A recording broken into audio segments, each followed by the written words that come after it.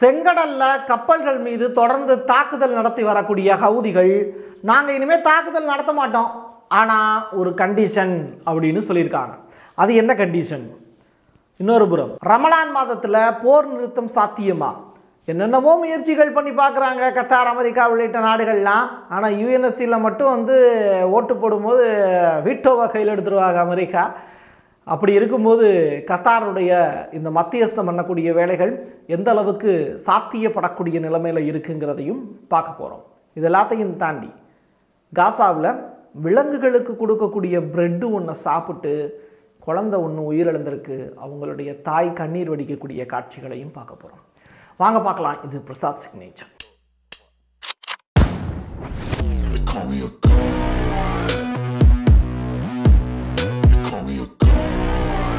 யோ Gallant இவர் இஸ்ரேலுடைய defence minister உங்கள் எல்லாருக்கும் தெரிஞ்ச ஒரு நபர் தான் நம்ம எல்லாருக்குமே.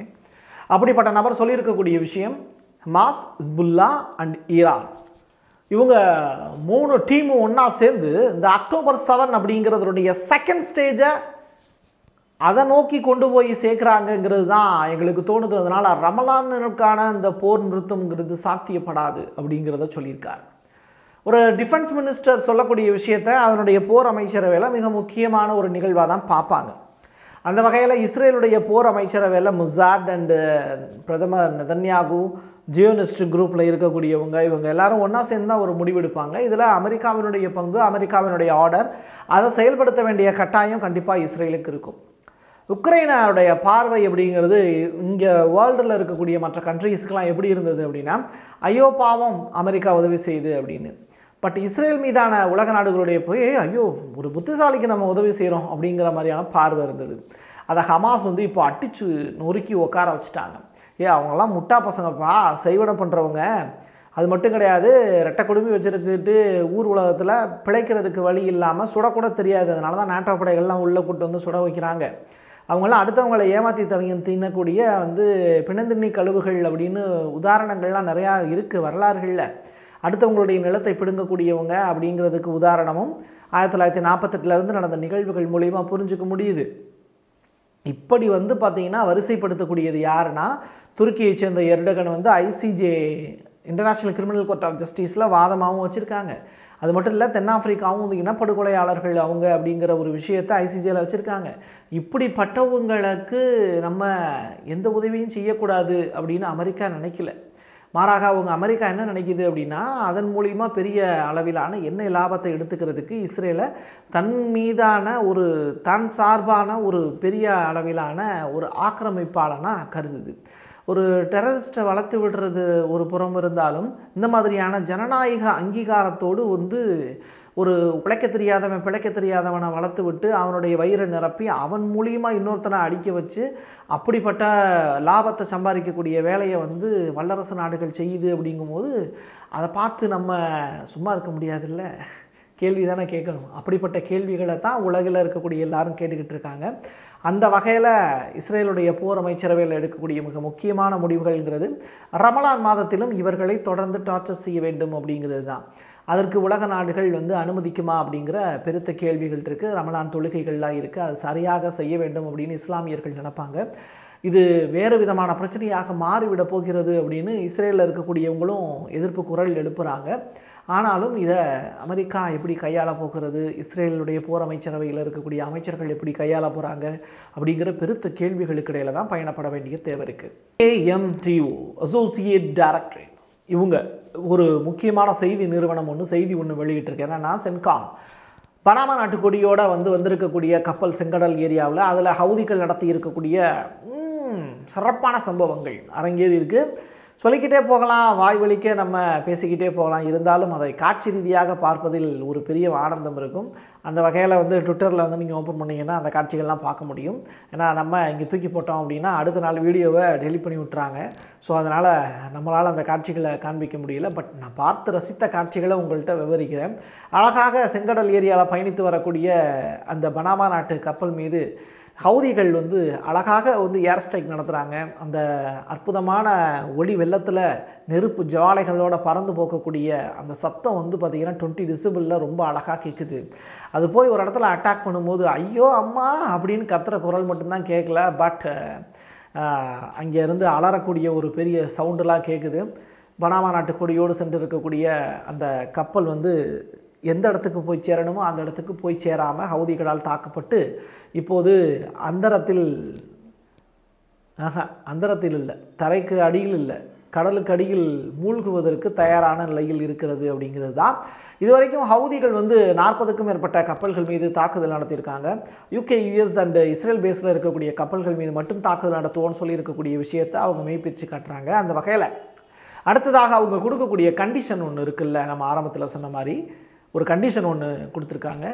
நீங்கள் இஸ்ரேல்காரர்களே நீங்கள் பாலஸ்தீன் மீது தாக்குதல் நடத்தாமல் இருங்க. அவங்களுடைய நிலத்தை அவங்கள்ட்டே திருப்பி கொடுத்துருங்க.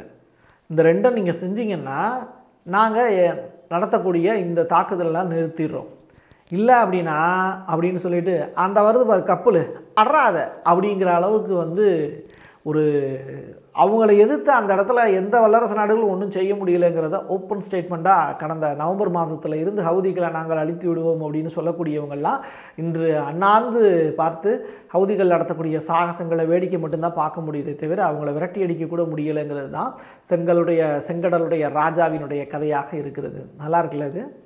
ரஷ்யாவினுடைய வெளியுறவுத்துறை அமைச்சர் லாவ் அவர் சொல்லியிருக்கக்கூடிய விஷயம் நாங்கள் ஹவுதிகளுக்கு ஆதரவாக நிற்கிறோம். ஐசிஜிலையும் ஹவுதிகளுக்கு ஆதரவான ரிப்போர்ட்டை தான் நாங்கள் கொடுக்க போகிறோம் ரஷ்யாங்கிற நாடு ஹவுதிகளுக்கு பின்புலமாகும். அந்த நாட்டினுடைய ஏமன் அப்படிங்கிற அந்த நாட்டுக்கு பின்புலத்திலையும் நாங்கள் இருந்து தொடர்ந்து ஆதரவளிப்போம். ஏன்னா அவங்க செய்கிறது சரி அப்படிங்கிற அடிப்படையில் நாங்கள் ஆதரவளிப்போம்னு ரஷ்யா சொல்லியிருக்கக்கூடிய விஷயம். ஹவுதிகளுக்கு மேலும் தெம்பூட்டக்கூடிய வகையில் இருக்குது சும்மா ஒருத்தன் போயிட்டுருக்கான் அவன் வந்து ஸ்கூலில் படிக்கிறதுக்கு வாய்ப்பு கிடைக்குது. படிக்க போனால் அவனுக்கு வந்து சத்துணவும் போட்டு கூட ரெண்டு முட்டையும் போட்டு கொடுத்தா சந்தோஷமாக போய் படிப்பான்ல. அந்த மாதிரியான வேலை தான் இப்போது ஹவுதிகளுக்கு நடந்துக்கிட்டு இருக்குது ஸோ தானாக வந்து முன்னின்று படிக்கணும் அப்படின்னு ஆசைப்பட்டு ஃப்ரீ பாலஸ்தீன் அப்படிங்கிற அந்த வார்த்தையை எதிர்நோக்கி நல்ல நோக்கத்தோடு செயல்படக்கூடிய ஹவுதிகளுக்கு இந்த அண்ணன் ரெண்டு முட்டை முட்டை சாப்பிட்டு தெம்பா வேலை பார்ப்பா அப்படின்னு சொல்லக்கூடிய அளவுக்கு லாவ்ரோவினுடைய பேச்சுக்கள்ங்கிறது ஹவுதிகளை தெம்பாக்கி விட்டுருக்கு ஐநாவினுடைய சுகாதார அமைச்சகம் ஒரு ரிப்போர்ட் ஒன்று கொடுத்துருக்கு. அதாவது காசாவில் வந்து ஜென்ரேட்டர் கிடையாது. ஜென்ரேட்டர் இல்லை அப்படிங்கிறதுனால வந்து அங்கே இருக்கக்கூடிய வென்டிலேட்டர் அப்படிங்கிறது இயங்க முடியல. வென்டிலேட்டர் இல்லைங்கிறதுனால காரணம் என்னென்னா தண்ணி இல்லை. தண்ணி வந்து சுகாதாரமற்ற முறையில் இருக்குது எல்லாம் கழிவு நீராக மாறி போச்சு. பயன்படுத்தின தண்ணீர் எல்லாம் கழிவு நீராக மாறினதுனால கழிவு நீர்கள் எல்லாம் கொப்பளித்து வியாதி பரவிடுச்சு வியாதி பரவுனதுனால அங்கே இருக்கக்கூடிய மக்களால் சாப்பிட முடியல தூங்க முடியல நோய்வாய்ப்பட்டு கிடக்குறாங்க. இதன் காரணமாக வந்து வந்திருக்கக்கூடிய ஈடுகள்லாம் கெட்டுப்போச்சு உணவுப் பொருட்கள்லாம் கெட்டுப்போன உணவுகளாக வந்து சேருது. அதை சாப்பிட்டு மக்கள் வந்து வாந்தி பேதி வந்து கிடக்கிறாங்க. கிட்டத்தட்ட ஐந்து லட்சம் மக்களுக்கு வந்து உடல்நிலை சரியில்லை அப்படிங்கிறது அல்ஜசீராவினுடைய ரிப்போர்ட் மூலிமா தெளிவாக தெரியுது. நான் கடைசியாக ஒரு வீடியோ ஒன்று பார்த்தேன் அல்ஜசீராவில் அதில் ஒரு ஆறு வயது குழந்தை வந்து பசியும் பட்டினியோடு இருக்கக்கூடிய குழந்தைக்கு ஒரு பிரெட் ஒன்று கொடுக்குறாங்க. அந்த பிரெட்டை சாப்பிடும்போது அந்த குழந்தை இறந்து போச்சு. அதுக்கு பிறகு அம்மா அழுதுகிட்டே பேட்டி கொடுக்குறாங்க. ஐயோ என் பிள்ளைக்கு வந்து இந்த பிரெட்டை கொடுத்துட்டனே அப்படின்னு சொல்லி அழுகிறாங்க. அழுது அவங்க வந்து இதை நான் சாப்பிட்ருக்க கூடாதா யா சாப்பிட்ற நான் சாப்பிட கிடச்ச எனக்கு பிட்டை அவளுக்கு கொடுத்தேன். இப்போ இறந்து போயிட்டாலே அப்படின்னு. பார்த்தா டாக்டர் செக் பண்ணிவிட்டு அதில் விஷம் கலந்துருக்கிறத கண்டுபிடிச்சி சொல்கிறாங்க அந்த பிரெட்டில் வந்து விஷம் கலந்துருக்கு அப்படின்னு. ஸோ வரக்கூடிய எய்டு கூட இன்றைக்கி விஷமாக மாறி இருக்கிறது. அது எந்த நாட்டிலேருந்து வந்ததுன்னு தெரியாது. ஸோ இஎன்ஆர்டபிள்யூஏலேருந்து கொடுக்கக்கூடிய பொருட்கள் வந்து தரமற்ற பொருட்களாக மாறி நிற்கிறது காரணம் என்னென்னா இஸ்ரேல் வந்து வெகு நாட்களுக்கு பிறகு தான் காசாவுக்குள்ளேயே அந்த ஏடு பொருட்களை அனுப்புறதுக்கான வாய்ப்புகள் இருக்குது ஸோ இப்படிப்பட்ட சூழ்நிலையில் கிடைக்கக்கூடிய பொருட்களும் விஷமாக மாறிக்கொண்டு இருக்கிறது காசாவில் அப்படிங்கிறது தான். அந்த குழந்தையினுடைய இறப்பு செய்தியின் மூலிமா அவங்க அம்மா கொடுக்கக்கூடிய பேட்டியின் மூலிமா அதை வெளியிட்ட அல்ஜசீரா மூலிமா அதை மறுபடியும் தமிழில் அழகாக மக்களுக்கு சொல்ல வேண்டிய தேவை இருக்குது இது அழகு கிடையாது அசிங்கம். தெற்கு லெபனான்லேருந்து இஸ்ரேலுக்கு நான்கு தாக்குதல்கள் நடந்திருக்கு. மொத்தம் நான்கு இடங்களில் நடந்திருக்கு. இஸ்ரேலுடைய நான்கு இடங்களில் வந்து சைரன் ஒழித்த காட்சிகளை பார்க்க முடிஞ்சது. அது மட்டும் கிடையாது நாற்பது ஏவுகணைகள் அட்டாக் நடத்தியிருக்காங்க லெபனானில் இருந்து. ஸோ ஹிஸ்புல்லாவினுடைய அதிரடியான தாக்குதலில் நிலகுலைஞ்சு போய் நிற்கிது இஸ்ரேலுடைய நான்கு நகரங்கள். நார்த்து காசாலேருந்து சவுத்து காசா வரைக்கும் ஒரு பத்து கிலோமீட்டர் தூரத்துக்கு ஒரு பெரிய டனல் ஒன்று போட்டிருக்காங்க. அந்த டனலை வந்து இஸ்ரேல் கண்டுபிடிச்சிட்டதா ஐடிஎஃப் வந்து ரிப்போர்ட் ஃபைல் பண்ணியிருக்காங்க. அது தொடர்பான காட்சிகளும் நிறைய இடங்களில் செய்தி இருக்கு இதுக்கு முன்னாடி வந்து எந்த விதமான நிலங்களில் தான் அப்படியே போகிற மாதிரியான காட்சிகள் தான் வந்து ஐடிஎஃப் கண்டுபிடிச்சாங்க. இப்போது படிகள் இருக்கக்கூடிய அந்த டனலை வந்து கண்டுபிடிச்சிருக்காங்க. படிகள்லாம் இருக்குது அந்த படிகளில் ஏறி போகக்கூடிய காட்சிகளும் வந்து இருக்குது ஸோ ரொம்ப டெக்னாலஜியில் ரொம்ப ஹை லெவலில் இருக்கக்கூடியவங்க தான் இதை செய்ய முடியுங்கிறத ஐடிஎஃப்பில் அந்த காட்சிப்படுத்தக்கூடிய அந்த வீரரே வந்து ஹமாஸனுடைய அந்த தந்திரத்தை சூப்பராக விளக்கி சொல்லியிருப்பார்.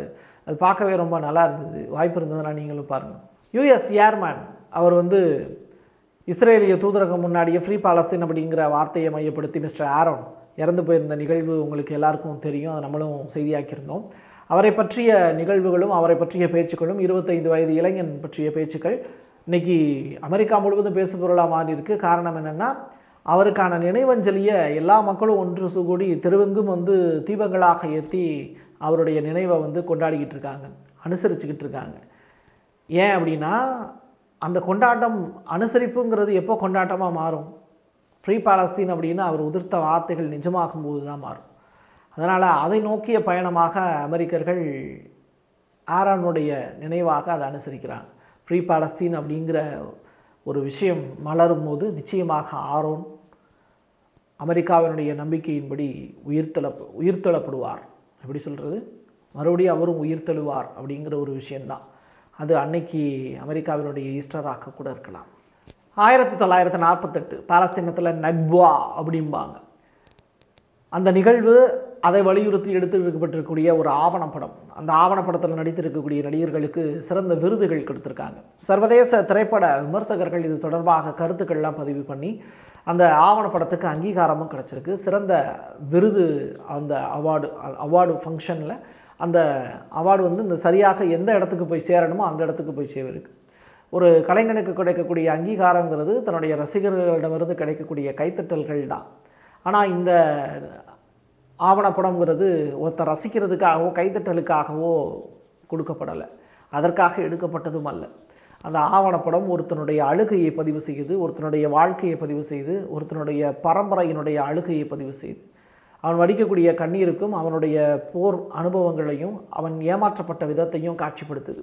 அப்படிப்பட்ட ஆவணத்திற்கு கிடைத்திருக்கக்கூடிய விருது அப்படிங்கிறது உலகத்தினுடைய மனிதநேயத்துக்கு கிடைத்த விருதாகத்தான் பார்க்க முடியுது. என் கையெழுத்து என் மக்களுக்கானது. மீண்டும் ஒரு பதிவில் சந்திக்கலாம். நன்றி வணக்கம். நிறைய நல்ல தரமான வீடியோக்களை பார்க்கறதுக்கும் அதே மாதிரி செய்திகளினுடைய ஆழம் சென்று தெரிஞ்சுக்கிறதுக்கும் வரலாற்றை பேசுறதுக்கும் கேட்கறதுக்கும் எல்லாத்துக்குமா இருக்கக்கூடிய பிரசாத் சிக்னேச்சர் சேனலை உடனடியா லைக் பண்ணுங்க ஷேர் பண்ணுங்க கமெண்ட் பண்ணுங்க. மறக்காம சப்ஸ்கிரைப் பண்ணி பெல் ஐக்கானை கிளிக் பண்ணிருங்க.